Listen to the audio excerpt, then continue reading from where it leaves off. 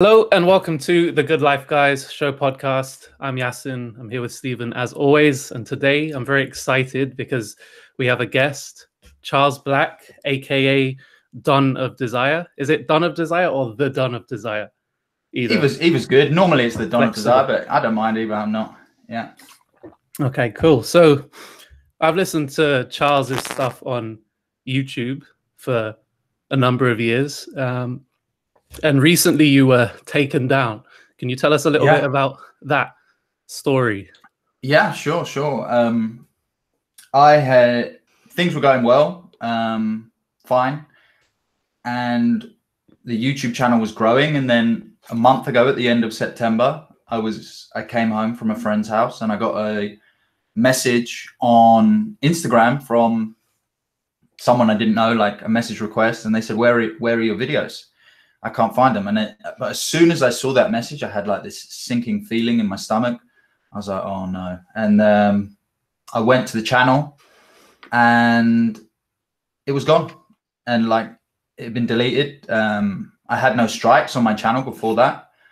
I had had had a couple of strikes through the lifetime of the channel, but not in years, and um, especially not in the last ninety days, which is generally how their um, uh, guidelines work. Mm. And uh, yeah, it was gone. I sent her. a I sent a um, a request for um, someone to double check it and uh, an appeal, and I sent the appeal, and within 30 seconds of sending the appeal, I got a message back saying we have manually reviewed this decision, um, and we've come to the conclusion that we are deleting your channel. And yeah, and they, they don't give a reason. They they keep it very grey on purpose. Hmm. Um, so I still don't really know what happened.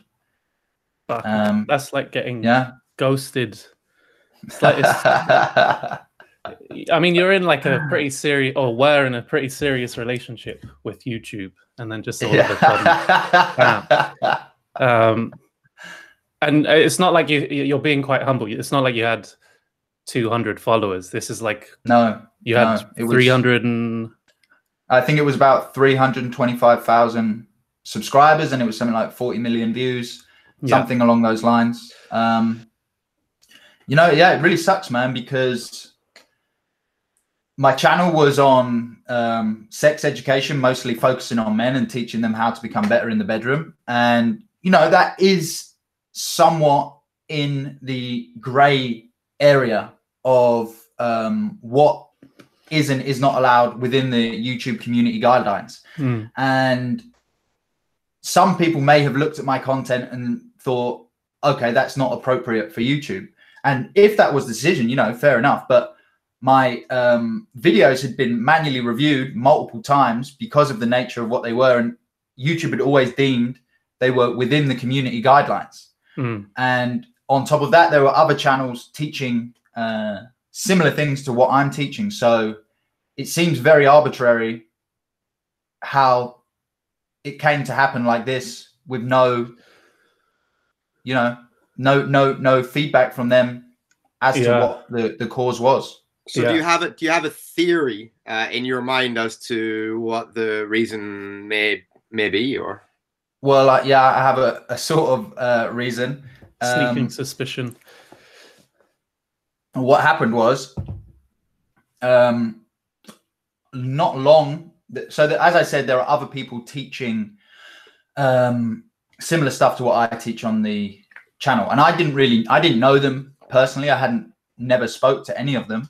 Um, but a few weeks after my channel went down someone put up a video saying um, has has Don of Desire uh, been censored? Something along those lines and she was another person teaching sex education stuff and she was saying this is not really fair um etc etc and she reached out and she uh, said like if you'd like to come on my channel and speak to me uh, I would love that. I would that would be great, and we can see what we can do about your channel. I was like, oh my, wow, this is amazing. Like I didn't even know this person. I'm like a competitor of hers, so for her to reach out like that, that's really cool. And then I sent her an email, reached out to her, etc., etc. But then I went to her Instagram channel, and she had these highlights of. Um, do you know what the highlight, the story highlights are? Yeah, yeah. Like you make a story and you can save it.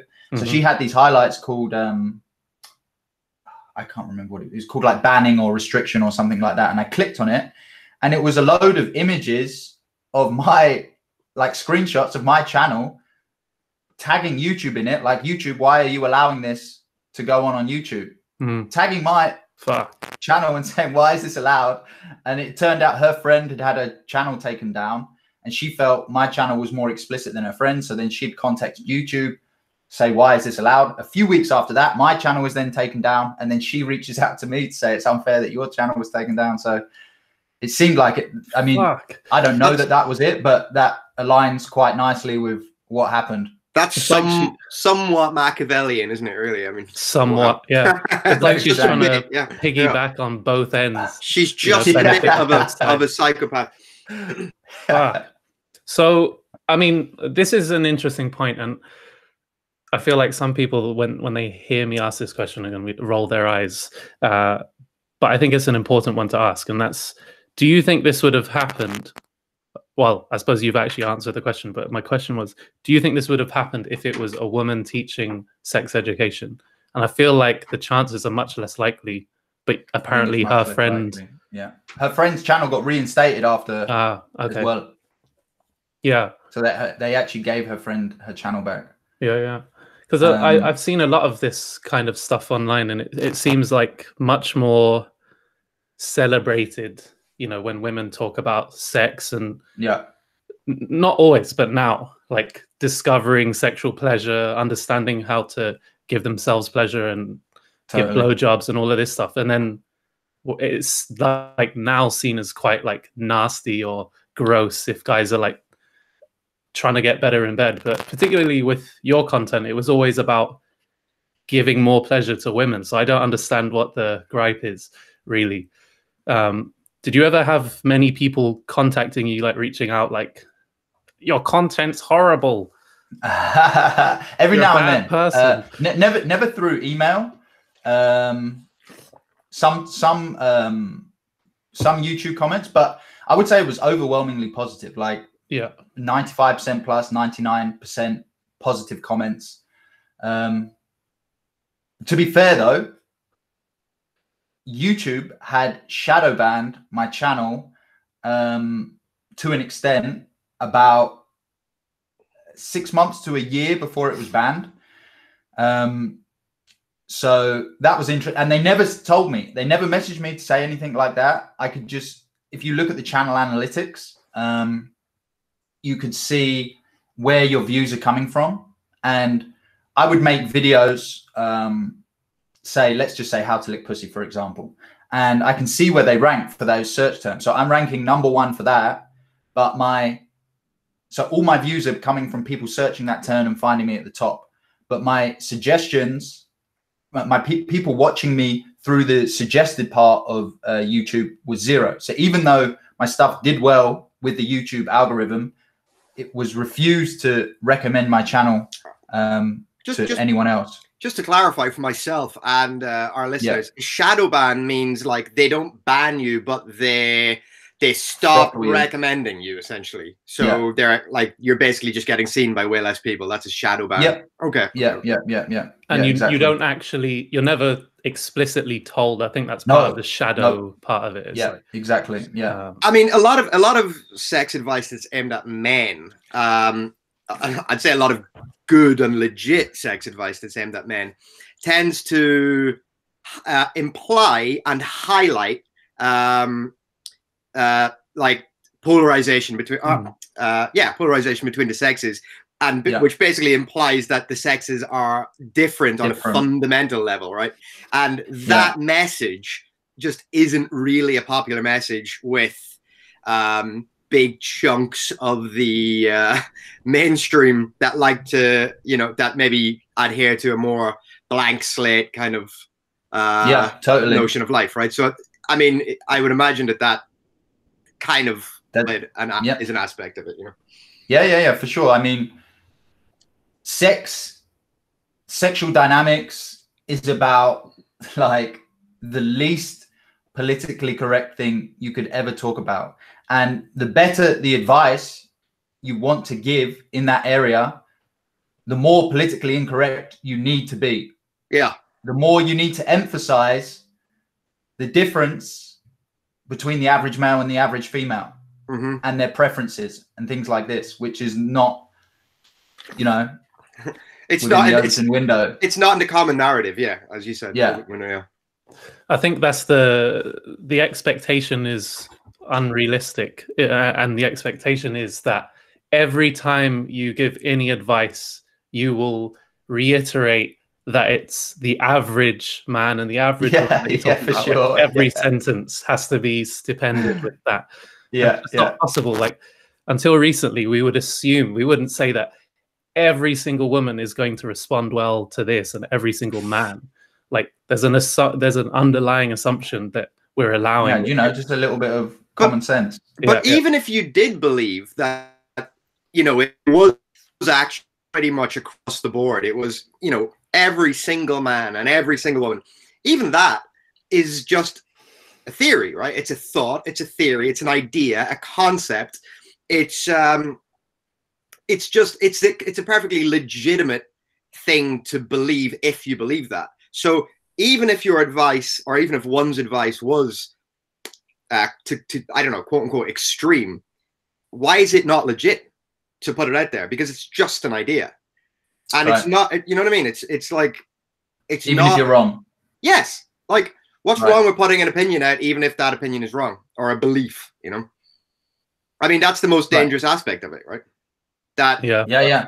Because all beliefs are essentially kind of subjective and not maybe entirely provable or falsifiable. So why can't we all just put out all of the interesting concepts that are potentially interesting and true and then just kind of deal with them in the public square. I mean, that's what YouTube and, and Facebook and, and blah, blah, blah were, were supposed to be. That's why people were excited by them when they came out.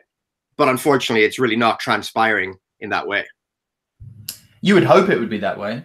And, you know, you would hope that if it wasn't that way, at least they would be transparent in the decisions that they make and how they come to those mm decisions on and why they're doing what they're doing so that people know the rules that they're supposed to be playing by. Yeah. I mean, in a sense, you have to ask, like, who are you? And I don't mean you, I mean the, the, the powers that be, the people who banned you. Who are you to say what I can and can't, what ideas I can and can't put forward? Especially when there are ideas like yours, which are so kind of harmless, you know, uh, and and um, potentially valid. Like anyone can see yeah. that those ideas are potentially valid. Yeah, yeah, yeah. It, yeah. Yeah, it's it's a tough one. It's like ultimately they you know, are um, just a company. What were you going to say, Charles? I was just going to say, uh, I don't know how uh, where you are guys of um, like Jordan Peterson and his discussion of like the problem with hate speech and having any sort of hate speech rules is who is going to define them. Mm. And the person who's going to define them is the person that you least want to define them. The person who's interested in defining those things, yeah. those things, and that is how it seems to fall. Yeah, you almost disqualify yourself from being the person that should be defining these things by wanting to be by wanting yeah. to define them in the first place. Because you're obviously a bit busybody and you're obviously kind of hungry for control and power. And you know, yeah, the last person that should have the control and power. Yeah, but there's the, the the flip side of it is that there is a point at which we could almost all agree that hate speech shouldn't be allowed on these platforms. Um, it's just where we define it and where others define it might differ. Um, and yeah, also- they're, they're, a company that has adverts at the start of videos, uh, and their whole goal is to monetize the platform. So I, th- I think what's changed with YouTube is that they've become the bitch to advertisers. Whereas yeah. there was the boycott. I don't know if you remember that, where a flood, like Coca Cola and a bunch of other advertisers, yeah. left the the platform. I think just temporarily, but because there was like, was it a Nazi? I don't, I can't remember what it was. I don't even think it was that bad. It was like it was like PewDiePie made. Ah, was it that a, a, a Nazi joke or something? Yeah, yeah. Yeah, that was but it. He was joking, and yeah, yeah. maybe it was you could argue that he went too far, but like it was a joke. Yeah. Um, I feel like if something's a joke, then almost almost anything goes. You know, Yeah. like Yeah. I mean, I, I I really I personally can't think of anything that doesn't go. But maybe you could make a case that some things don't go. But almost everything I, goes. I remember. I think the argument against it was um, people were saying it was a dog whistle for um, for the alt right, or it was something along those lines. So that's how they catch you out in that sense. But the thing is, like, it, it being a dog whistle or not is itself just another belief or idea. So it's like, Yeah, yeah. how can we compete in the world of ideas if some ideas are banned and others are empowered constantly? I mean, it's a completely unequal playing field. Yeah, yeah. But you don't think that at some point, and I just to clarify, I don't think it's at the Don of Desire point, but much, much, much, much further along. Um, but you know, where not even PewDiePie stuff, but like where a guy's just sat on his channel like I'm a Nazi. Here are all the races I hate. Here's I'm going to take them down. Like at that point, I feel like, okay, I'm with you. Take down the channel, if But only for the, the- saving advertisers.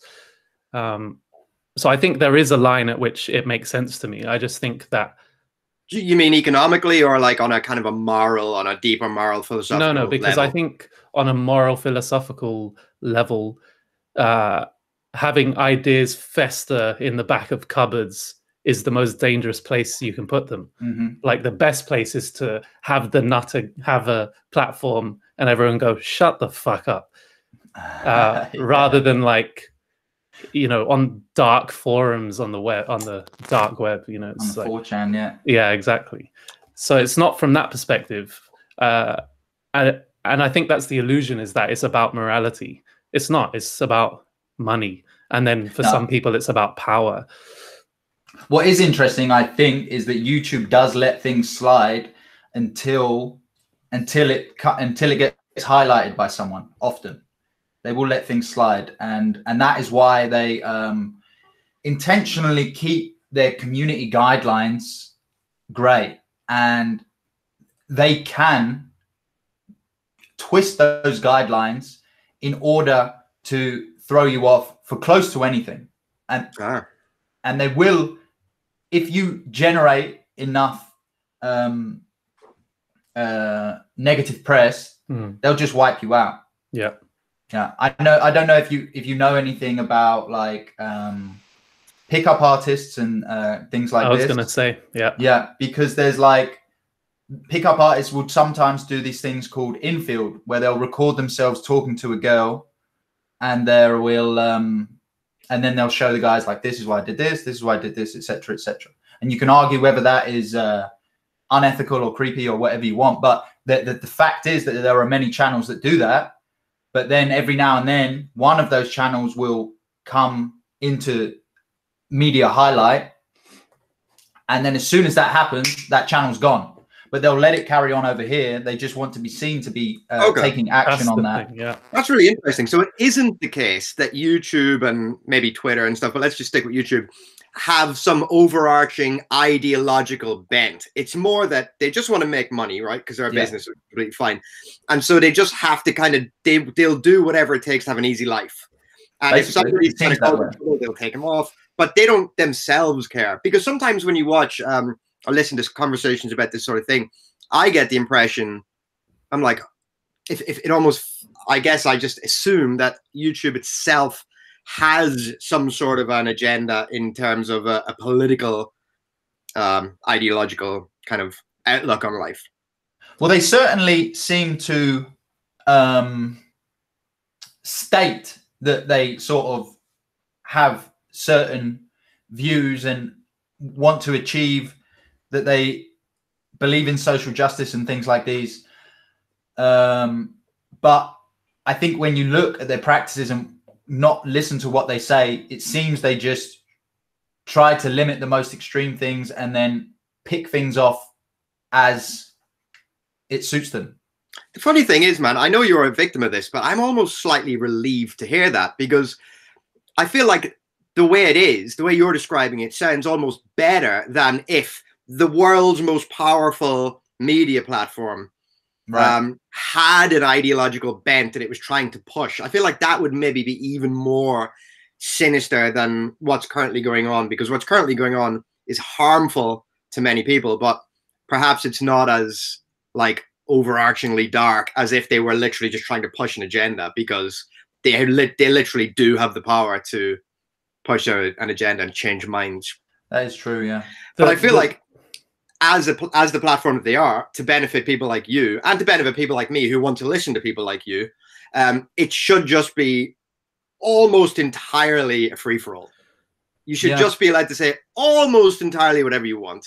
Now, yes, and you're saying there might be areas that should be banned, but I think they should be like so far on the kind of out, like outside the open window or or like on the absolute outskirts of like decency. But at the I, moment, I'm, they seem I'm, to be like very middle. A lot of very benign things are being banned. Yeah, I'm purely talking about from the perspective of if it was your company. Okay, not your company because you have different perspective, but most people running this company if advertisers were like, look, we're fucking off because this doesn't align with what we want to sell, they're just going to listen to them. And like you're saying, Charles, that's why they'll profit on you, off you, until such a point where people make noise and therefore they fear that advertisers will make noise. So right. they're completely unbiased until their financial gains, uh, you know, come under fire. Uh, and I think it's good in, in, like you were saying, Stephen, from one perspective that they don't have a, a political leaning, um, but, but then from the other perspective, and what it seems like happened to you, Charles, is that it allows people with nefarious intentions to just go, I want to do better than this person, so I'll just, you know, I'll complain, and then right. with with no recourse, your channel's taken down, and that's the end of it. And yeah. a whole like, I mean, uh, you seem quite dynamic and and have an ability to pivot, but for most people, that would be the end. They'd have to do something else. That's that's pretty fucked. Um, and I know people with much smaller channels who have had things like that happen. Where, I mean, we know someone who had their channel taken down who is a pickup artist. Um, what we had him on infield or anything like yeah, that? Yeah, yeah, yeah. Over infield. And then yeah. actually pickup artists all around the world have now, I mean, the biggest one, RSD, has com- taken down all that content. And now yeah. they're like self help gurus. Yeah. Uh, and I think it's uh, pretty lame, but. Yeah, it's a shame. They helped a lot of guys. Yeah. So it, it it's crazy how impactful this kind of stuff can be. And like we were saying on another episode, we were talking about the dark triad personality type and how mm-hmm. they they will just piggyback on whatever is easiest, the whatever the path of least resistance to success, fame, power is what they'll use. So there's all these people who have good intentions and just want equality and free speech and la la la la. And then the, there's these other people who are like, okay, well, we're being a bit dumb about this, you know, like with the whole something like always believe a woman, that kind of thing. Right. Like that seems like a, a good thing to go by until you have people that manipulate the system massively and ruin people's lives. Um, and I think that's happening here where we're just believing the person who's accusatory. Uh, and then people like you are on the receiving end of that. Um, yeah, it really sucks that you the, the, like the, the. I mean, this is like a personal gripe, but the, the most frustrating thing from my end is like, just there is no, there's zero communication, there's zero, um, and there's zero path to redemption. Like as far as they're concerned, I'm banned for life, no more channels. Um, I'm just not allowed on the platform anymore on my own channels. I can't own my own channels. Even if I go, even if I start making a, a channel about how to train puppies, like it's just it's crazy. And um and all of, and a lot of this banning and deplatforming, like if I am on the edge or if I am doing something they don't like, just you know, three lines in an email like, hey, this this part you're not doing here, that's not cool, man And I'm like, okay, well, I'm, I'm on your platform. If if that's how it is, then that's how it is. But it's just nothing. Yeah, and that's that's going away a bit from what we're talking about on the uh, on how things should work. But it's just. I think I think that's fair uh, uh as well. A fair request that they allow they provide some lenience so that you can adjust. Yeah, and, uh, anything, man. It must yeah. be unbelievably like unbelievably frustrating to be somebody who's built a channel and then just have it like pulled from underneath them with no yeah. recourse. I mean, I can't really imagine many things that would be that like fucking ah maddening yeah. and frustrating. It must just yeah. It was five years I built that channel, mm. so, and I was like twenty four seven. I was doing that. Yeah, I had a a channel that it was like for marketing. I did it a few years ago with a with with this guy that I'd hired, and um, basically we were cold calling businesses and we were showing the the journey of us becoming like a marketing agency. Oh yeah, yeah. Um, and I'm like terrified of cold calling, so I was like visibly shaking on these yeah, calls. Yeah, and, and you, like, were, put, you were documenting it. Yeah, yeah, yeah. So oh, like, cool. It for me, it was like very personal, like uh, to yeah. watch the journey. And yeah. the, this guy went AWOL and uh, got into the account and deleted it. Holy shit! uh, and I just received like a WhatsApp voice note, like, "Oh, thank you for everything. I had to delete the channel because I, I just can't do this, and I don't want my name associated." And I, yeah, so and it was like I'd say I had a hundred subscribers, and it felt like my my life was coming to an end. So I, I, can appreciate the the pain.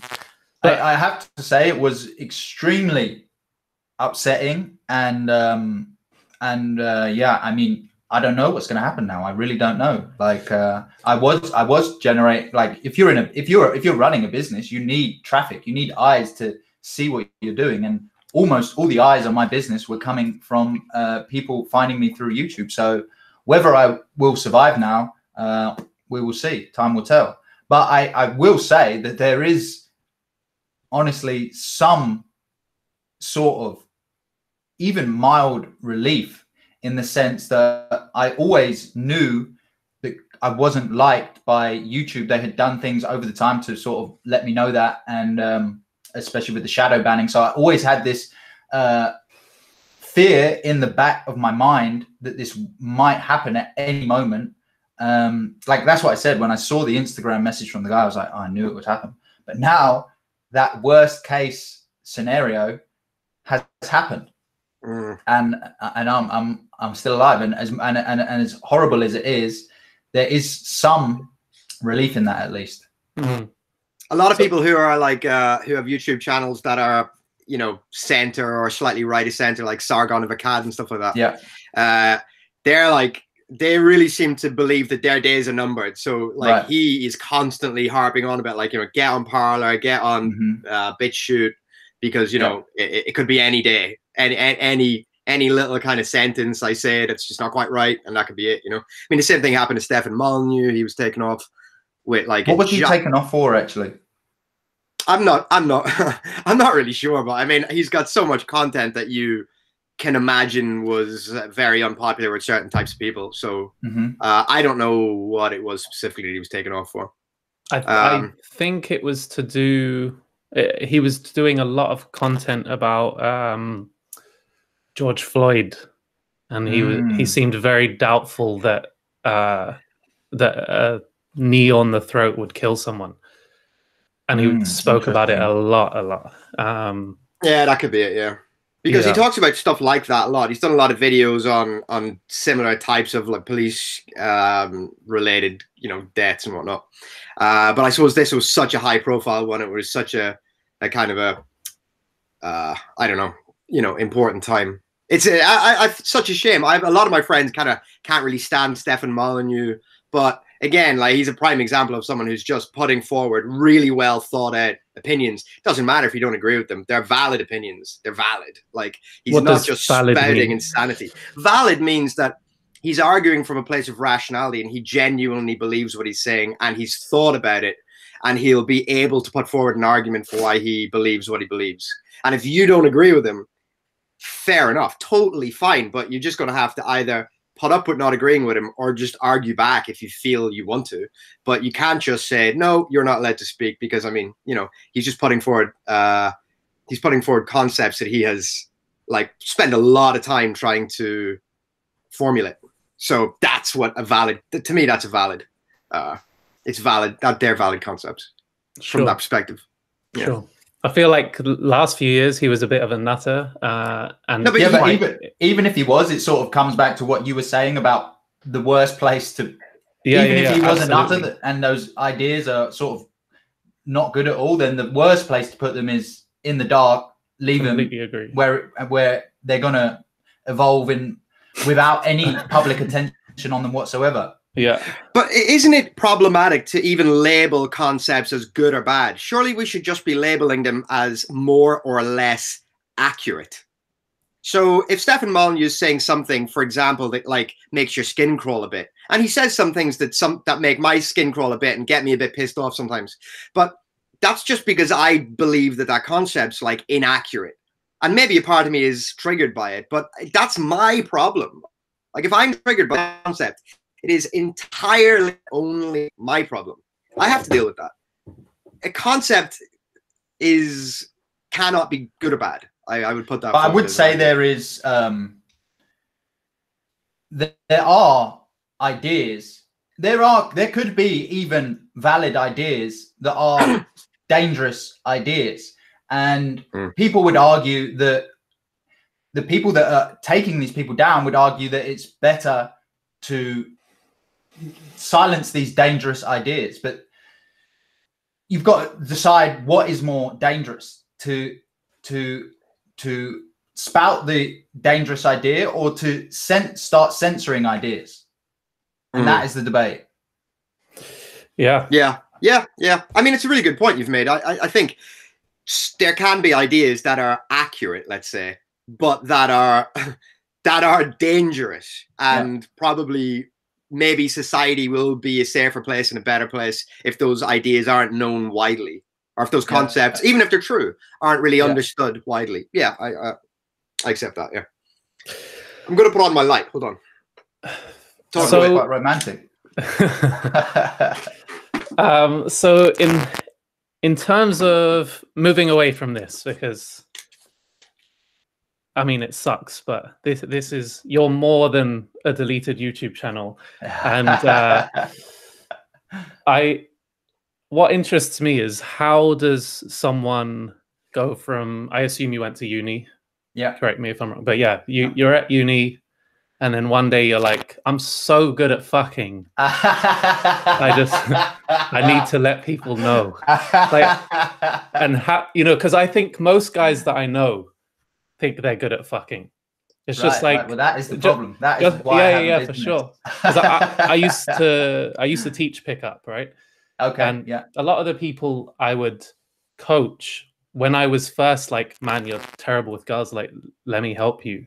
Yeah. They'd be like, "No, nah, I'm great," and I'd be like, "When was the last time you were with a girl or had any interest from a girl?" Yeah, like two years ago. It's fucking amazing. I'm like, two years. so they like couldn't there's this uh, cognitive dissonance between yeah. the world is telling me this thing but i just can't believe it because of my ego. And i assume the same is true of of sex right? Like i i don't know anyone any guy who's ever been like fuck i'm so shit in bed.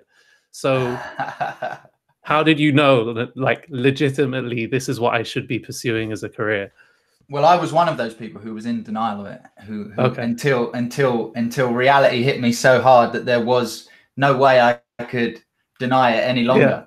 Yeah. what was that story? Tell us that story. But, but, I was when I was around 20 years old, I was um I wouldn't say engaged, but I was with a girl who I believed, even though I was young, I believed I was going to sort of marry her and have a family with her. And uh, I was very in love. And but things weren't going so well. Things were going downhill, and especially our sex life um, it, it, it got to the point where it was evidently a, a, chore for her every time it happened and and the, and the distance between it happening were getting longer and longer and the excuses were getting she was putting less and less effort into the excuses yeah. of why she didn't want to do it anymore yeah and i was trying everything because i was young, naive, green, and, and desperate. And yeah. you know, I, I didn't know what to do. I had never even I'd never heard of pickup back then or anything like that. So I was um, taking her out to meals, trying to spoil her. You know, just all these basic things that a guy thinks that you should do, mm. and none of it none of it was helping. And um, so I saved up, and then like as a last, like I'm gonna fix this. I saved up and took her to an expensive hotel for a weekend. And like I thought that would be this grand gesture would um, would fix our problems. So we went to the we went we went away for the weekend and um, at first she it worked like she was ecstatic she was uh attract it felt like she was attracted to me again and I was relieved and I felt okay and like she she like she, she was excited. She even wanted to have sex with me that night, which was like a first in a, in a long time. Uh, but that night, as soon as we started having sex, that um, excitement vanished almost instantly. Uh, and the longer it went, the worse it was getting. Mm. Whereas I'm just rooting away and just she's looking around bored. Yeah. And then the most ridiculous thing, absurd, was that as that was happening, in the room next door, we hear these animalistic porn star screams yeah. of the woman next door. And uh and uh yeah, and it just like contrasted so hard with what was happening with us. So, um, so did you continue or were you like no let's just call she, it she she made she she was like yeah, this is done. This is done. At yeah, least she's yeah. having fun. Like, and uh, and then not long after that, she broke up with me, and it was awful. Like really awful. Um, but it um, put a, lit a fire under my ass, and I was like, I am never, ever, ever going to let this happen to me ever again. And so I just started reading like a madman I was getting I was getting my hands on studies. I was reading every book on relationships and sex. I was uh, going to seminars, trying to speak to any expert that would speak to me, and uh, I started making some progress. And as I started making some progress uh, myself, I started giving out advice here and there to friends, and they were like, "Holy shit, man! This is uh, this is working. This is this is helping." So I, I used to be um, a poker player that's how mm. I used to live. So I was just uh, I was living in Budapest at the time, and I was just helping my friends. And then my friends had clients. They used to run a uh, pickup company, and um, I would give their clients advice when they came on the sexual topics. And then they were having great success with what I was teaching them. Uh, and then it grew from there. Then my friend was like, "Man, you got to start a, a, YouTube channel with this." And I was like, "Ah, I don't know, man. I, yeah, I was I was like I was playing poker, so and he just kept on at me and I, and eventually I gave in and I was like all right I'll try it and it was funny because when I first started I don't know if you ever saw I don't know what videos you saw of mine actually if you whether you saw the later ones or the early ones but the early ones were absolutely terrible I was putting out these videos on YouTube as a self-professed sex expert getting like 10 and 20 views at a time just like the most embarrassing thing you could ever think of. Yeah. you're no mates. No, you're not. Yeah. uh, but then, like, I just my friend just kept telling me to be consistent, and I just kept being consistent. And then at one point, I just had a couple of videos that went viral, and people started putting in the comments, "I like." like this helped me so much this is and the women were saying this is exactly what i wanted and and then from there it grew. Yeah. Once I start got a couple of virals, then I had the confidence to keep going and and went hard. Do your parents know about this? Yeah, yeah. How do you bring they that do. up? Is it no, like well, your dad was like, I was looking for some... oh yeah, yeah. My mum said to my brother, "I think, I think he's doing porn," you know. uh, but I don't know that they, they sort of they were like because I did um, civil engineering as a degree, and um, I remember when I finished my degree, um, my parents were like, "Yeah, so are you going to um, are you going to get like a nice job and sort of settle down now?" And I said, "Actually, like in a few weeks I'm moving to Copenhagen and I'm gonna I'm gonna gamble for a living. so that like that was like the, that was a bigger shock than when I told them this. So yeah, I'd already yeah. sort of shattered their dreams of a, a son nice. of a normal life. So this was the it wasn't too bad. I eased them into it. Yeah. I help That's people awesome. with their intimacy problems, etc., etc. like in, in a way that parents can handle. I understand. Yeah. Yeah. It's like how um pickup artists, whenever they're on on the street and someone this is always a gripe of mine, but when someone's like, Do you do this to or like what are you doing here? Or do you do this to a lot of girls? They're always like, uh, I'm a, a public speaker teacher. yeah. Oh, that kind of thing. I teach meditation and mindfulness. Life coach, life coach. Yeah, yeah, yeah. All of this bullshit. Um, yeah. So, well, that's a, that's a good point actually, because teaching people how to meet and interact with girls is so.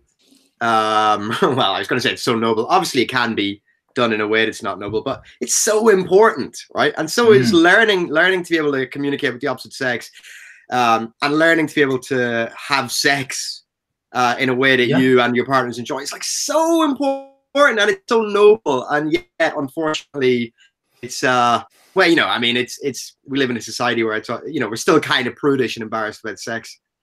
well, I um, mean, it's looked at as like so sexist.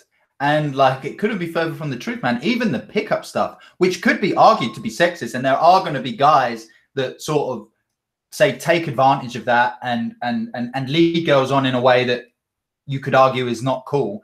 But the vast majority of guys that are going to learn this stuff are going to end up settling down rather quickly with a nice girl who would they would have never have met if they hadn't learned those skills and she would have never have met if he hadn't improved himself in these ways it's really the vast majority of the time a win-win situation for both the men and the women yeah mm-hmm. absolutely yeah i agree it's uh but the fringe cases are focused on yeah, even if you're a guy who doesn't want to settle down and just wants to date casually, then yeah, it still makes sense to be pretty good at it.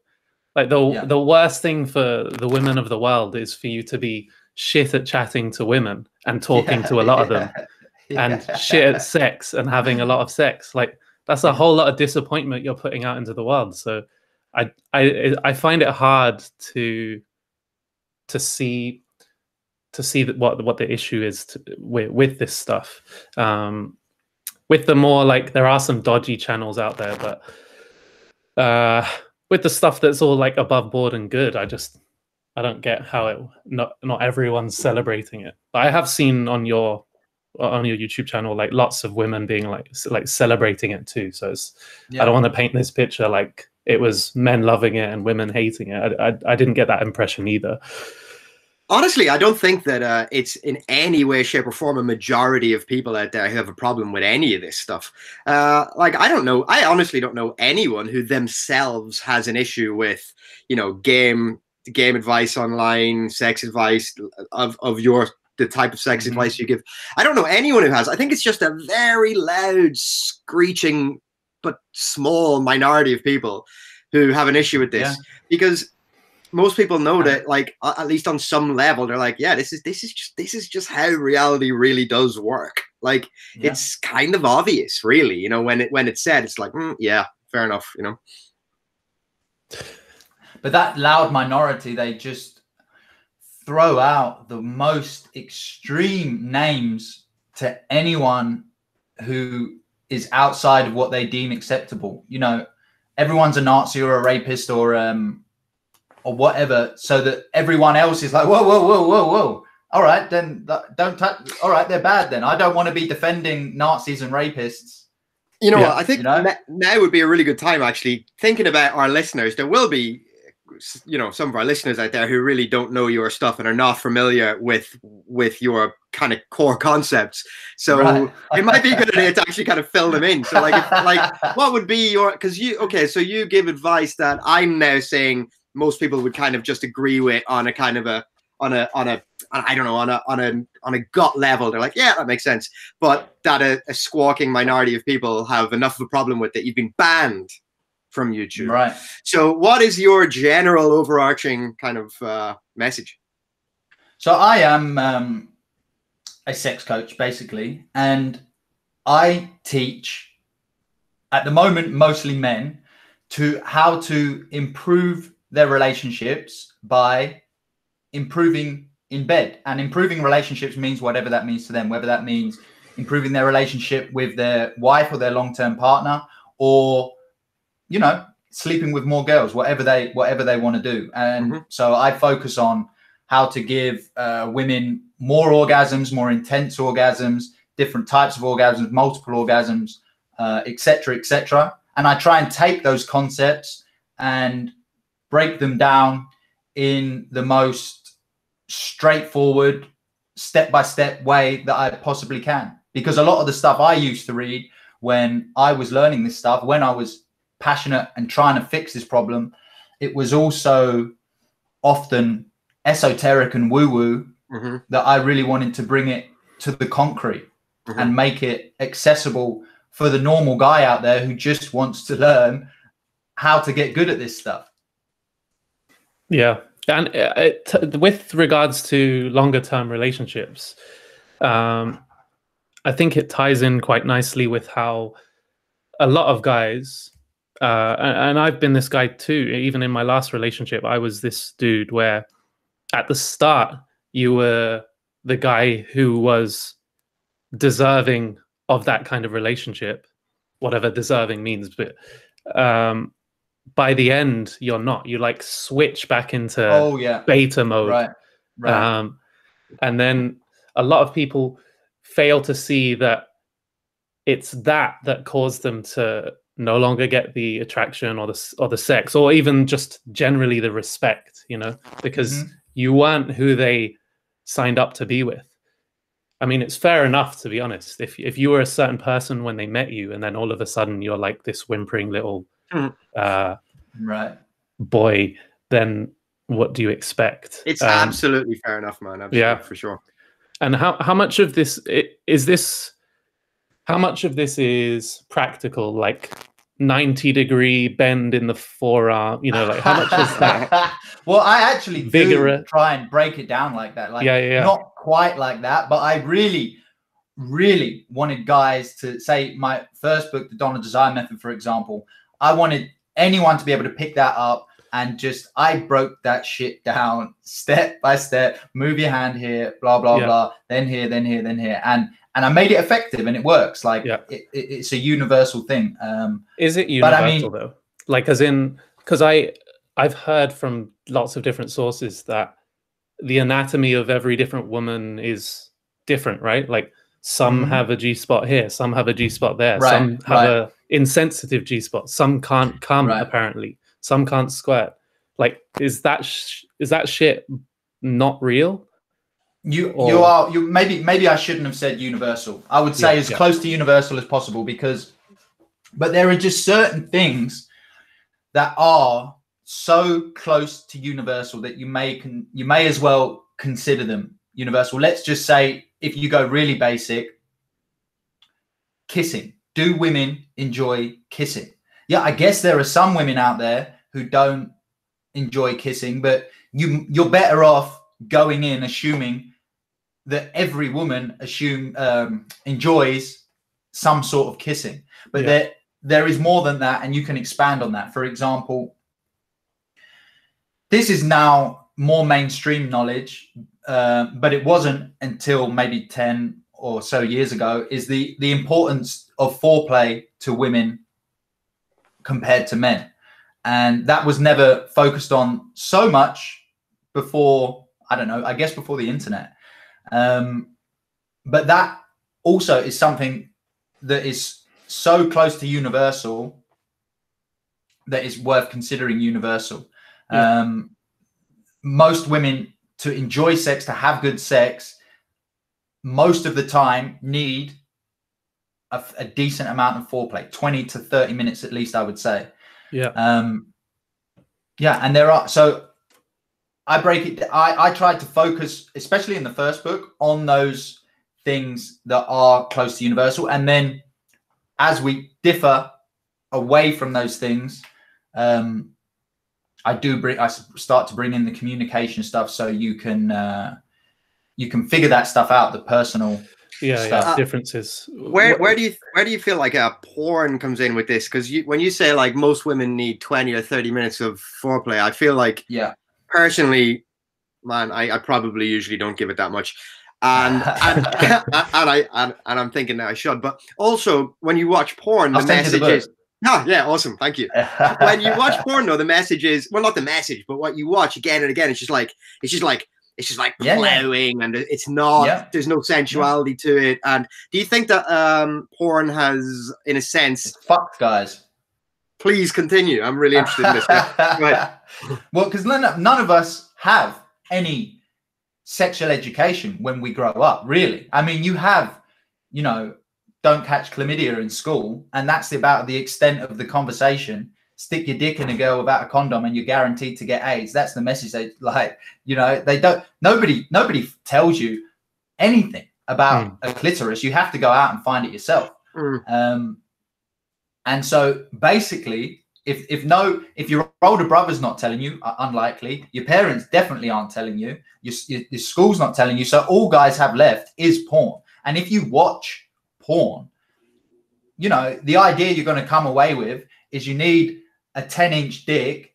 You need to run into the room, take a leap, land in her pussy, and smash her as hard as you can for 30 minutes in every position you could possibly imagine. And that's how you satisfy a woman. And it couldn't be further from the truth. And if you, you speak know, to most women for five minutes, you'll find out that most guys are totally clueless and as you said at the beginning, not only are they totally clueless, but their confidence, they're confident in their ignorance. They think mm. they're the man, which yeah. just makes it even worse. Wow. Wow. Yeah, exactly. Yeah. So the funny thing um, is when you talked about like that couple when you in your origin story, and this says probably a lot about me, but it probably also says a lot about a porn conditioned modern mind. Like when you talked about the couple next door screaming, like the picture that came into my head was just some you know ridiculous porn style like slamming going on and i was like oh. I, I didn't i didn't even for a second think about some guy who'd put in like 45 minutes of gentle foreplay and, and was now reaping the rewards of that effort. Like it just fucking my brain didn't go there. Would you the, say? I'm not well, i'm not saying that there isn't a time and a place for that sort of sex. I know man i know uh, i know, I know. yeah. Yeah, yeah. i'm just would, saying that it needs a build up Yes. Would you say on average, like similar to probably post, you know, posting YouTube videos or articles or whatever else, like, is it better to have less and much higher quality? Like, because realistically, most days you're not going to have 40 minutes for foreplay and then another 40 for sex. Like, mm, okay, you, yeah, yeah, yeah, yeah. Is yeah, that yeah. fair to say? I mean, the thought of doing that for me is like overwhelming. just, you know, that's I'm gonna have to completely change my schedule. Um, the, the the quality of the sex for a woman will correlate with the tension that you build beforehand, and you can build that tension through the foreplay as I describe. But there are other ways that you can build it as well. You could build that tension through sexting in the day, teasing mm-hmm. throughout the day. And then when you get home, you're already going to be at that level where she may be ready to sex, uh, for sex and she may be ready to orgasm very quickly because you've built that tension. But that's what it all comes down to that tension. Yeah. Um, mm-hmm. you can, you can, like, don't get me wrong. Like, if you're not doing this stuff every day, you can still have a good sex life and, um, you can still bring her to an orgasm and you can still show her a good time um, but the the levels that you're going to bring her to are just not going to be as high and i would say like at least once a week you just want to set a little bit of time aside um, to really give her the the the the, the full monty you know mm-hmm. yeah yeah mm. it makes Lord sense. the rings fellowship of the rings three hours yeah, yeah. no it, it, it makes a lot of sense and it's something definitely admittedly even in my current relationship it's like at the start like fully willing to go as long as i need to go and like um yeah. willing to sacrifice sleep and that kind of thing. And then right. it, has been a common uh scenario where as it extends beyond the first year that i'm just like ah, i want to sleep. Yeah. um and, and, and that doesn't mean I don't want sex. It's that the stuff before the sex becomes less and less appealing right. as a general thing. Like I, I still want to have sex every day, but the 40 minutes of foreplay every day just becomes less and um, and I, I think I'm well, I'm I'm certain that for some guys that's the case. Is that they they are relatively good, but it's the the effort that they stop putting in because I don't know, they just want it the way they want it. How right. you, have you found that people have come to you like that and been like, how do I get more excited about, you know, twiddling on the back of a knee for 12 minutes?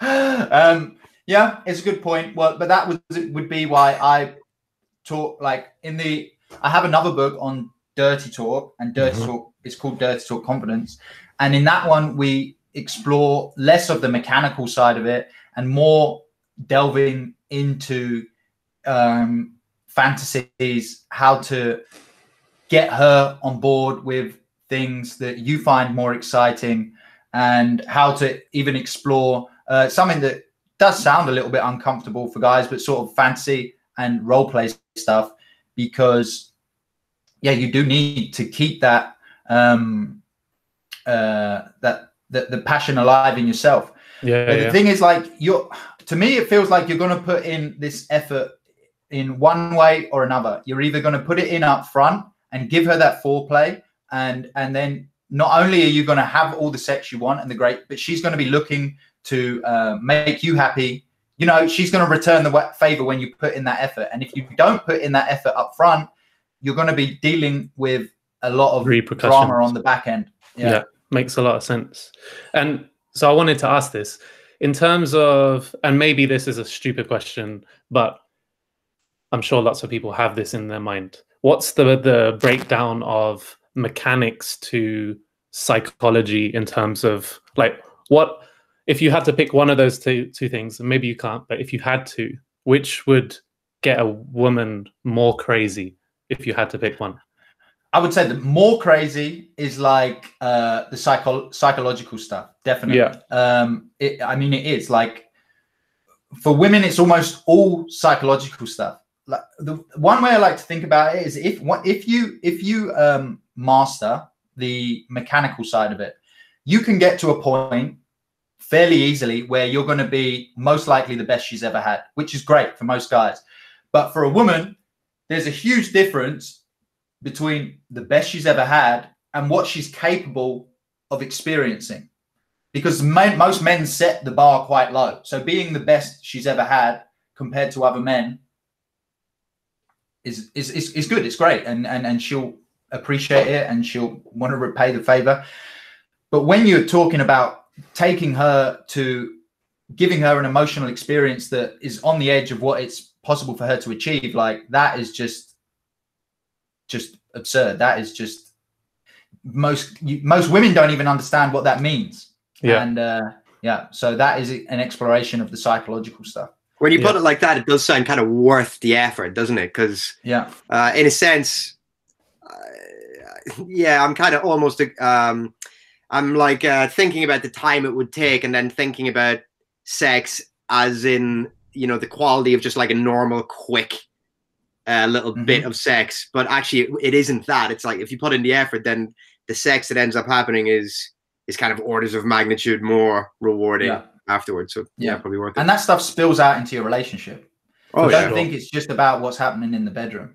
Fucking mm-hmm. right, man. I've been in relationships where like the sex was like never it was it was never I don't know it, it there was, oh, something missing from it and uh you know I've put it mm-hmm. down to different things chemistry, yada yada. I don't know what it was, but um, yeah, it's it's a real like blight on your uh, relationship. It's like a dark cloud over your time together. Even if you're getting on well, it's like always kind of there in the back of your mind. And and then the opposite is obviously true. Like I mean, if things are going really well sexually, I mean, your whole relationship just kind of flourishes and totally, man. Especially when you get into the uh, the kinkier stuff or the fantasies, because if you're going to explore that, you, it might sound cheesy, but you really have to. Um, you really, really have to trust each other to explore that and and and feel comfortable and, and safe around the other person.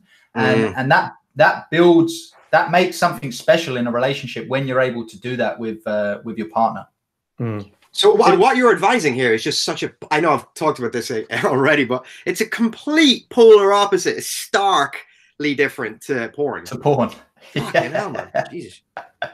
Yeah, it's really sad. I mean, it's and, really and, tragic. And, yeah, yeah, and then and and kids. I mean, you know, you were you were a 12 year old boy. If you had a smartphone in your hand at 12 years old that could reach anything in, on the internet, you you would have been looking at everything you could find, and it, and it we were like like we're not that far from from age in each other, and like when we were kids, I was basically when the the internet was useless, and when I was a kid, mm.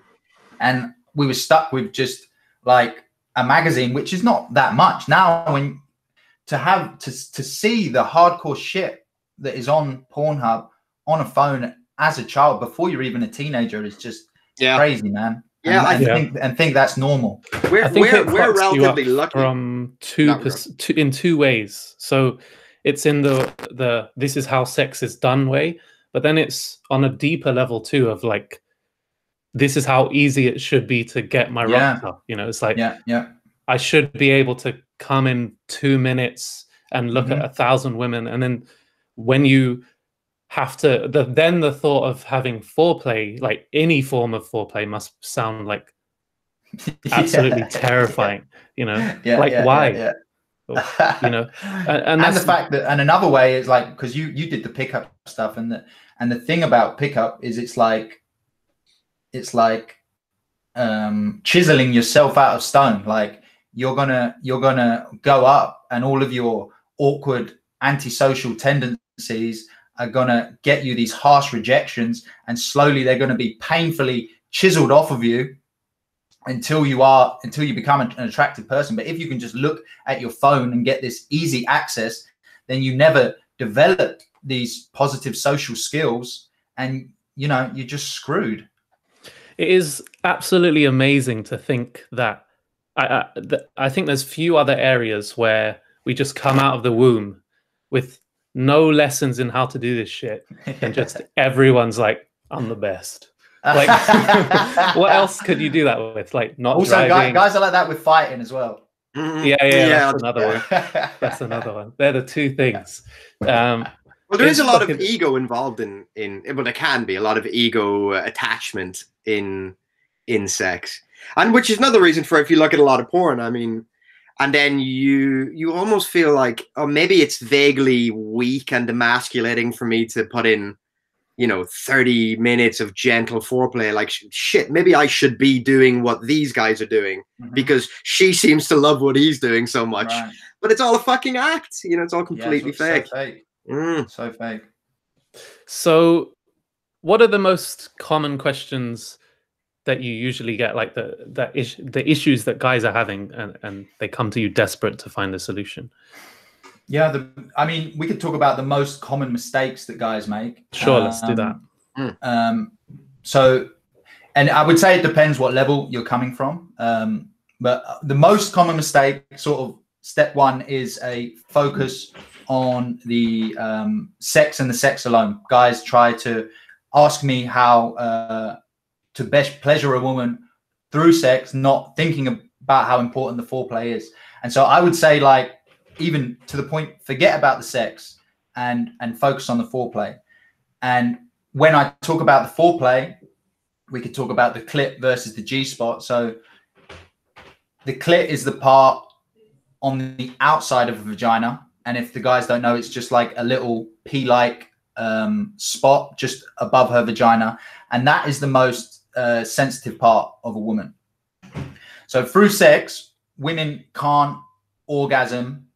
Let's say it this way: not every woman can orgasm consistently all the time through penetrative sex, but through clitoral stimulation, um, mo- almost every woman can orgasm almost every time if you stimulate it quite well. So to come back to what you were saying, I, I really can't. I really can't bring myself to do 40, 40 minutes of foreplay uh, before I have sex each night. I would say if you're not going to do that, at least give her a clitoral orgasm before you have sex every time because you might not bring her to the highest heights if you just but usually within 10 minutes 10 minutes of oral sex you can bring most women to an orgasm mm-hmm. and then have sex and then at least she's you know that she's going to be at least somewhat satisfied with that once guys are sorry i just take a sip once guys sort of have that down they sort of figure out the clit and how important it is then the sort of next mistake is guys are like because we're guys we're like okay now i have the cheat code I hit, I tap X, and I, I keep tapping that, and I win the game. Yeah. But it, obviously, it's not quite like that.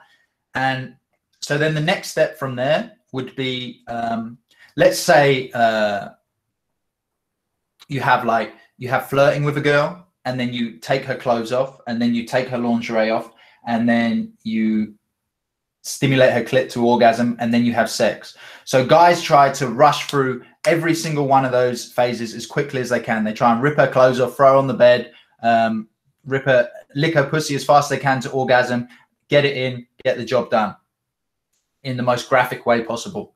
And but the more you spread out each of those phases, um, the more tension you're going to build with the girl, the more turned on she's going to be, and that eventual orgasm that you do give her through her clitoris before you have sex is going to um, is going to be so much more powerful than if you just go uh, straight to her clit. And when mm. I say more powerful, I mean like she's saying she's like what is going on? Who are you? Why how did you how did you learn how to do this? And like th- that's that's not an exaggeration. That's the sort of thing you're going to hear if you do that sort of thing. Um, yeah yeah. I will come back one more thing. I spoke about uh, stimulating the clitoris. Is the clitoris is so sensitive that when you go for it, it is much better to do oral sex for most guys than fingering it. Because mm. your your finger is a little bit rough and if it's a little bit dry or not uh, there's not enough lube then it can tug on it and that's not painful it's like imagine a dry finger running across the head of your dick it's it's not going to feel good and that's you know, two, three, four times as sen- uh, not less sensitive than a, than a clit. Yeah, yeah. So mm. with your tongue, it's hard to go wrong. Your tongue is big, it's soft, it's wet. So by stimulating it with your tongue, you can't really go wrong. Um, yeah, and then and then once you've got those mechanics down, then it's time to focus on the dirty talk. But that's that's a big big old conversation. So it it's um it's great to have you on and, and to to talk about these things because even when when I was asking some of our audience uh, questions and I was mm-hmm. like, put it in the like on on our group. Don't like message privately because this stuff shouldn't be awkward, right? Like, right. We all have sex. Hopefully, uh, it should just be like a normal thing. It's like it's childlike to me to think that we're still in this phase of like shh, sex is like is this thing we can't talk about and it's a bit naughty and like it, it's tiring that we do that but nonetheless even though i said that everyone only messaged me privately. Um, and they were kind of meek questions because you know they have to tell me directly with their facebook profile what they you know what their issues are with sex. So it's good that you're you're going through these and i'm, I'm hoping that some of our audience are helped by this. And to be honest for me it's like um i i had got a bit lazy. Like i right. i always do the the foreplay stuff in, in terms of head that's fine but like you know the more intricate like like i said back of the knee uh, yeah, yeah, yeah, i do i do do a bit of it and then i'm and as sad as this is i just feel this like ah, this is a bit boring. And I think it, yeah. it, it, maybe it's porn. I haven't watched porn uh, much in, in many years, but I also think it's other stuff. It's like your phone and just the the general like environment of instant gratification that makes mm-hmm. it hard for us to do this with anything. And it makes complete sense that when you take your time, like like for instance, when I eat, I just stuff myself, and it's it's gone in a second and I barely I can barely feel it or, or think think about it because I've gone through it so quick, and that feels like the only way I can enjoy it.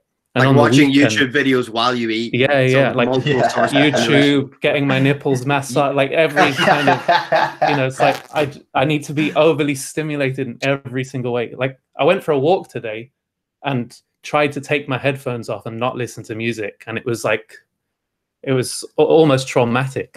But um, I was doing that for a while, and it's the same thing. and that, like I would have a little argument before I step out the door. Shall I take my AirPods yeah, or yeah. shall I go? Shall I should I should walk with no music and, and just let my thoughts percolate? But and then uh, no, no, the, the, yeah. the, the, pod, the podcast wins. Yeah, so much easier, isn't it? Yeah, yeah, yeah. But yeah, on the weekend I was doing this like mindful retreat thing with my girlfriend, and um, part of it, part of the schedule was to eat every meal mindfully, like in mm-hmm. silence. Yeah. And it was torture.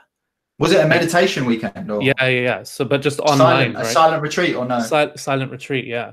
Oh, um, and we kept, you know, going to talk to each other because mm. we just couldn't sit in that like silence. Yeah. yeah. Um, but then as you get used to it, you do start going, "Wow, this is like what food actually tastes like when you take right. your time. and I feel like sex is is the same thing. You know, it's like. Have you ever when, done NoFap? Yeah, I've done NoFap. Yeah. Did you experience yeah. benefits? Not the superpower stuff that they talk about, but. Mm. Uh, I'm, yeah, I'm two sure. week. I'm two weeks in. Uh, oh yeah. Like I, have done it. I've done it the longest I've ever gone in my life because I'm quite I'm quite addictive and compulsive when it comes to porn mm-hmm. watching. I, all yeah. even since the, my very earliest memory, like you know, luckily I luckily I hit puberty before. Uh, as you were saying earlier on, the internet got really fast. But you know, yeah. even just fucking calendars or uh, the Daily Sport or yeah. anything. Yeah, yeah, yeah, yeah. And then when when the internet came out, that was so the, the longest I've ever gone was six months. Um, and I feel like that really stood to me because even after that, when I would fall very much off the wagon again, even for like long periods of time. And um, I feel like that six months just kind of changed, just changed mm-hmm. something in my brain, maybe forever. So it never was quite the same again. But uh, yeah, it can catch up on you, and you're like, "Fuck, man!" For the last couple of months, I've been binging again. And that's kind of where I was at two weeks ago. So I was like, fuck, okay, I'm, I'm going to try this again. So now I'm two weeks in. It'll be my two week, uh, be two weeks tomorrow. And man, it's just fuck. It's night and day. And yeah. the thing about porn is because it's, um, because it's, it's enjoyable and uh, addictive. If you're anything like me, you'll just be in denial. You'll make amazing intelligent, rational seeming excuses for why it isn't a problem. But then when I, I, like literally, man, I've, I've argued with my brother. I've, I've talked to Yasin about this. I'm like, no, no, but I'm, I'm, you know, it's fine for these reasons. But when you stop, it's just night and day, night and day. Like I want to just stand on the rooftops and just tell everyone. It's like, and then the really bad thing is you, you'll read psychologists online and, and whatnot saying, oh no, porn's not the issue. Like porn's not porn's not a problem. Uh, porn's kind of healthy or whatever, and they're completely missing the point. Like, I don't care what they say; they are wrong. Mm. They are they are coming from the perspective of um, porn is not uh, something that we should be embarrassed about. Uh, it shouldn't be taboo, and I would agree with them on that. Porn's just porn. Who cares, right? But high speed internet porn is a different kettle of fish, and it is highly, highly, highly detrimental. I think to men in numerous ways. You know what's fucking terrifying is um you know yeah um, see what see what this high speed porn has done. See what having porn on your phone has done. We are just we are at the pong stage of vr right now. Vr is so clunky. And in five to ten years you're going to have a fucking hd vr headset with a haptic feedback vagina and some sex robot that talks back to you with AI. Do you know what I'm saying? That is about to get good. That's going to be an, an, amazing game changer. Like, uh, yeah. yeah. Uh, I mean, it'll bring people a lot of pleasure, but it's going to absolutely people are going to drop out of society. Yeah, yeah, yeah. yeah, yeah. People will not leave the house. People will just. You know. It's already happening. Yeah. You know, Japan is the canary in the coal mine for this. Yeah, kind of and it's not looking good over there. no, no, no. Nobody's having babies. No, but um, I no fap. I'm I'm unsure whether I'm fully on board. Like no porn, I think is good for most most people, but I actually, when I was younger, I'd see like a, a shadow of a woman and come. So I, I used to use uh, wanking to like extend out how long I could go because there was just right, no right, hope right. if I didn't train in some way that I would be with a girl and be you know, yeah. able to go for 30 minutes, 40 minutes. I think there's a giant difference between no porn and no fap. I mean, like if you're single, no fap is like yeah, sorry, go ahead. No, I'm just going to say, like, if you're single, like, for a long period of time, I don't think there's anything necessarily wrong with masturbating. I mean, well, there's nothing wrong with masturbating, obviously, from a moral standpoint, but I just mean in terms of your, uh, I don't know what the word would be, like, just ability to feel good in the world. I think masturbation is fine. I think porn is the real issue. Yeah, yeah. I, I would also... say that, but I, but I mean, I would also say, like, guys should experiment with this because I, am not one of those die-hard evangelists that you should never that you should never wank. But I just know for me personally, once I've gone, say, two weeks with with no wanking and no ejaculation, my brain kicks into overdrive. It's sort of like it's sort of like it's like, yo, what the fuck's going on right now? And why aren't we reproducing? You need to get your ass into the gear. You need to eat good. You need to meet women. You need to sort your business out. And my ambition skyrockets. My confidence yeah. skyrockets. Mm-hmm. And I know you. They're, they're sort of the superpowers that you said you didn't experience. But for me, like I went into the idea of it very, very skeptical that anything would happen. And two weeks in, and I was like, "Holy shit!" Yeah, this is amazing. Mm. But I mean, I like sex too much to uh, to, to to keep it up for a long time. But that's but the when thing. I do it, I feel like there's a it, and there's studies showing that like I think seven to fourteen days your testosterone spikes and then it comes down again. Yeah. And what I've found, or what I at least hypothesize would happen to me, is that I'd get so desperate for sex that when I would be speaking to these women, it would no longer be like hey, how you doing? It would be like, hey, give it to me, you know?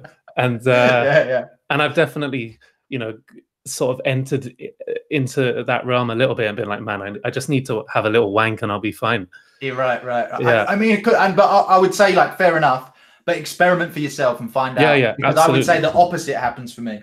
Yeah. Mm.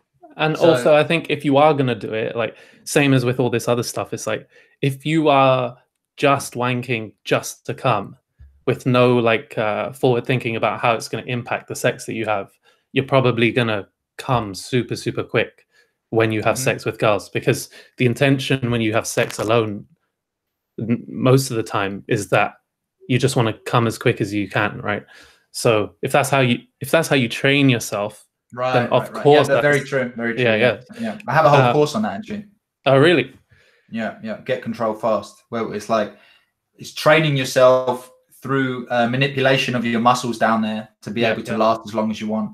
And then actually we go on to talk about um, non-ejaculatory orgasms. Do you know about mm. that? Yeah, yeah, yeah. It's like a what's it called? What's that? Uh, like a spiritual thing. What's Tantric. That? Tantric stuff yeah. Yeah they i mean it can be but again i just like to bring it down to the practical. Like you can you can separate it so that you can feel the feeling of an orgasm without anything coming out. Mm. and then that that that that feeling that you're gonna bust goes away and you can just keep going and having sex and you can do that over and over again which is is pretty cool. Sounds great it's, yeah. uh, it's a fun is, thing, is, yeah. is that a lot of work? It can it, ta- it takes um a bit a few weeks of consistent practice oh that's not bad it's not like yeah. four years under. No, no, you don't have to go and live in a mountain and yeah, yeah, wank every day in, in a cave or anything like that. Yeah, four years of non-stop edging. With like one of those sippy cup hats. yeah. Um, well, I was going to say something. It escapes me now, but yeah. So, with have you ever this has happened to me just a few times, and I've always been like, man, this would be fucking cool, which is where you come and then yeah. you can keep going. So it's a it's kind of like that, but a bit different as well. Right, um. And it just seems to happen very randomly. Uh, and you know, the standard thing is you come and then you get like overly sensitive and have to stop or whatever. Um, is there some sort of way to make that happen? I don't know about that. I can't do that. And okay. uh, you, you're the first person that's come All right, to me. I'll write it. yeah, yeah. I know. Like you can. Like that's why I like to focus on the, the non-ejaculatory orgasm thing because you do. It feels exactly like you are orgasming. So you yeah. do get that satisfaction, but nothing comes out, and you and and most guys are able to just keep the erection and keep going. But yeah. actually coming and keep going, no, I don't know about that. Maybe if you had a few women lined up. Yeah, it's uh so a few weeks. That's that's uh yeah, I think you can do it in a few weeks. Yeah, you have to be quite consistent with your practice, but you can do it in a few weeks. I'm down for for trying that. I'll I'll let someone know how it goes. um, Stephen, I'll give you access to the course. Yeah, do. I mean, you've said it twice now, and we've recorded it. So well, yeah. sure, no problem. Um, so I think now would be a good time to like talk about like where you see stuff going for you. Like I know you were sort of un- unsure of of the future, but like where can people find you and what things are you looking to do in the future? Um, so now, I mean, we had plans for the future, and now sort of a spanner has been thrown in the works. Um, so we have many courses out. We have uh, four different courses. So now the YouTube is gone. We're sort of building up the. With we got. I have guys need to find me, and they. I, if I'm going to help guys, they need to be able to find my stuff. So now I'm coming on a podcast like yours, and you guys were kind enough to have me on and have this chat, and uh, and I'm going to be doing more of that, more media outreach. And if COVID um, eases up, hopefully soon, I, I plan to do more um, in person uh, events and stuff like that, talking on stage. Mm. Um, yeah, and building my website from there and just looking for different different ways to reach out to people now. Yeah. Would you ever start yeah. a, a podcast or a... Oh yeah, that's it. That's I'm, I'm planning to do that. Yeah. Yeah, yeah, cool. But not yet. Yeah, yeah. Not nothing we can point no. people toward. No, no. I have stuff like all my uh, videos got pulled off of YouTube, uh, as we've discussed. Um, but I luckily I had them all on a hard drive. Yeah. So um, everyone who has uh, purchased my first book, The Don of Desire Method, I gave uh, them access to. There's a hundred videos. Uh, they get access to that as a, like a thank you for supporting me. Yeah. And um, I give I'm giving six uh, of some of my uh, best videos away for free if guys want to sign up for that.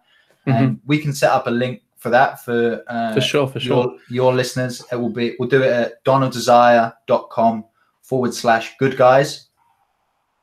If they go there and sign up, we get we'll give them in, uh, access to six videos. So we'll have like uh, what women want in bed, um, how to lick pussy. Um, what else we got? We got the best uh, positions for G spot orgasms, how to thrust properly so that you can last longer, um, and um, also pleasure your woman more. Uh, what was the other one? Three touches to turn any woman on. Oh, and how to get more blowjobs from your partner, which every guy likes. So, mm-hmm. yeah, we sign up and uh, I'll give you access to those, and you can check out my stuff. Uh, the only thing I ask for guys is just if you're going to watch my stuff, just please don't take my word for it. Just put that stuff to practice as soon as you can, and and just see for yourself whether it works or not. Yeah, yeah. I mean, when I was first learning about pick up stuff, it, it, was the same thing. Like I probably for a year just sat there like comatose on the couch watching other people pick yeah. up girls yeah, and never doing anything like, yeah, that's sweet, that's sweet, that's sweet. Next one. uh, I feel like this is a bit creepier to do, just like one year watch, watching Charles Black. Nice, nice, nice. Um, so yeah, definitely don't be that guy. Like put it into practice. Um, I often find that until you're you're actually ready to to use this shit there's not even a point I, i've gone through this process with investing learning about mm-hmm. photoshop mm-hmm. editing like everything it's mm-hmm. like i'll go through this phase of i'll buy shit download shit and then never actually use it or right. or, you, or watch the stuff but never implement and then I end up when I'm actually motivated having to go through all of that stuff again. So it's uh, don't delude yourself. I think like the only way any of this stuff sticks is when you implement what you've what you've learned. Otherwise, it's just like uh, YouTube porn or whatever else. Um, so get out there and start having sex. Yeah, yeah, yeah. Well, no, have foreplay. Yeah. yes. Fucking hell, man. Stop, Stephen, have you learned nothing? No, no, I'm abs. Yeah, for fucking great point. Yeah, yeah. That was, that was the old Stephen talking. The new Stephen is going to be a new man. I'm actually looking forward to taking my time from now on. Yeah, yeah, yeah. Very much. Uh, and I would love um, to hear uh, hear your uh, feedback on. Cool. If it, if it makes a difference for you, that would be. For sure, we will. Cool to hear. Mm-hmm. And also, um, let us know when the podcast is out, and we'll we'll ping that to our audience as well. Oh, amazing, amazing. Yeah, um, and, and, come on again. We could even do a, a dedicated episode to NoFap benefits. Yeah, sure. Yeah, yeah. Anything you like, man. It was. Uh, I enjoyed the conversation, and like I said, I, I, I have been going through your uh, your episodes since uh, since you guys reached out to me, and I, I love them, man. I really, nice, really, really nice. enjoy it. Really yeah, appreciate that, man. Stuff. Um, nice one. Would you ever try TikTok? Do you reckon you'd get booted off that even quicker? I don't know enough about it to be honest. I, I, yeah. I, would be I would be open to trying it. As far as I knew, uh, it was only 20 second videos or something like that, which I didn't think would be sort of uh, good good for me. Yeah, but maybe the, the Have you guys put anything out? Yeah. really fucking slow.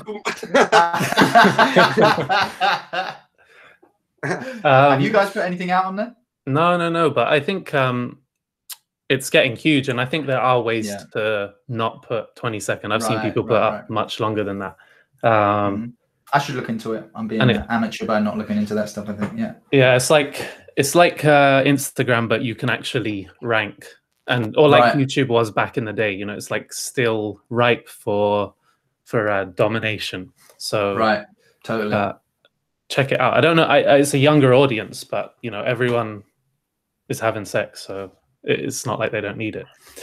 Um, okay, so although you know this is a conversation for another day, but apparently I've I read a I read a, an article and then a couple of kind of follow on studies and stuff that say that apparently young people, millennials especially, uh, are having less sex than yeah. any other generation before, which I find quite uh, I don't know surprising and interesting. I don't. I mean, yeah. I I mean. Like it's like what we're talking about: instant access porn, non-stop social media, these endless swiping and instant gratification. Like nobody's developing any social skills. It, yeah, it, it's, it's, it's and then people yeah. criticize game and uh, yeah, some of the things. It's like Jesus Christ. I mean, wow, we've got things completely backwards.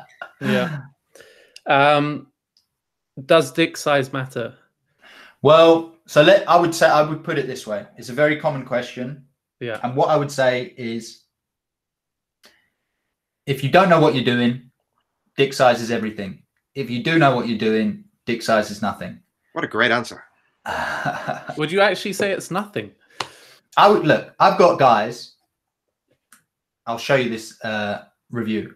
I've got yeah. a guy who followed my um, Dirty Talk confidence course, and he got his girl to the point through certain methods where he had her orgasming from her sucking his dick. Whoa. Like if if you can do that, do you really think she cares what you're yeah, packing yeah, yeah. in your jeans? Does it really matter at all? It doesn't matter. Wow. And you know, if you're able to to to get a woman so desperate to have you inside, like you can follow certain, not even my advice, just sex advice, and as a lesbian, and and be the best a woman has experienced. Yeah, yeah, yeah. Uh, what what I will say is there are, it's like a bell curve, and there are, and the importance of uh, a penis is like to, to a woman is on that bell curve, and there are going to be some small percentage of women who are call them size queens or whatever who are obsessed with it, but they are in such a minority that the importance is just, you know, yeah. Just learn what you're doing, and, and you're never going to hear a complaint. Like if you've slept with um, a few girls, do you really? Is the only thing you're thinking about to think back to how good she was in bed? how tight she was. Like as long as it wasn't some outrageous thing, it, it's probably not high up there on what you're thinking when you sort of think about who was the best woman you ever had in bed. Yeah, yeah, yeah. Yeah. I mean, to be honest, when I was when I was young, I I have like slightly above average, nothing special, but Mhm. from all the porn that I watched, it was like, oh fuck, man, I'm like, Yeah. I've got the tiniest dick in the world. um, and it's like how so i mean and that's with with not having an actual issue but how do you navigate that world when you have like a three inch four inch right, dick. right, right, right. like One thing I would say yeah go ahead. Uh, one thing I would say is that basically our whole life, we when we, we were growing up, um, we were told six inches is the average, and um, but there was a study a couple of years ago, and this woman thought to herself, because all of those studies that had been done on uh, dick average had asked guys how long is their penis, and this woman had thought to herself, maybe there's a chance that guys are not being completely honest when they're giving us this data. yeah So she set it up to do um, standardized measurements, and it had it was a huge sample size. It was something like twenty thousand or fifty thousand or something like that. yeah, yeah, yeah. And the actual average size was uh, five point three inches, which uh, I'm not exactly sure what that is in centimeters, but that's like uh, don't know 13 centimeters 12 Yeah. 13 centimeters like compared to 15 so um most guys um are within average like the vast Yeah, yeah. majority if you're like four to six inches you could consider yourself average and then for the guys that are smaller than that just learn what to do and see for yourself the reaction uh, that women give you. I don't feel right now that there's too much that I can say that is going to get rid of your um, insecurity. Yeah, but I yeah, feel that once you start putting it to work in the bedroom, you'll see the reaction and you'll gain the confidence yourself. Yeah. Um, I, th- I think that's that's probably the only way. Like, is like this visceral. Oh, is that actually doesn't matter, and then Yeah. pounding that home. Excuse the pun. Time and time again. Like, yeah. Yeah. yeah, Uh, yeah. I think that's the only way to get over this this kind of stuff, and and then probably also because I some people I imagine go down the route of like dick pumps and stuff like that. I don't know if Yeah. any of your audience or people you've spoken to have been like, man, I've tried all the dick pumps and like now I'm, you know, I'm twice the size. Or do you find because I imagine that similar to plastic surgery that when you go down that road of well, the only solution, exacerbate the, uh, Yeah, the yeah, yeah. insecurity. yeah, You're not going to cure that insecurity. have you found that with your with your audience or It's very, very small amount of guys. yeah, Like I have had a couple of guys contact me about it, and I just I advi- I personally advise them against it because it just don't it's it's just so unnecessary to me. I just once guys see the results that they can get with whatever they're working with, I feel that that insecurity goes away for the vast majority of them. And Yeah, yeah. I do think if you are st- suffering with that insecurity, the best thing you could do would be to quit porn. Just Hmm. just don't watch it if you if you have any sort of insecurity in that way. Yeah, yeah. I, I'm reading a book right now on happiness, and it, it talks a lot about status, uh, Mhm. particularly Which with book? men. Um, happily ever after, or some, some something like that. Okay. I don't know that. Uh, I don't know.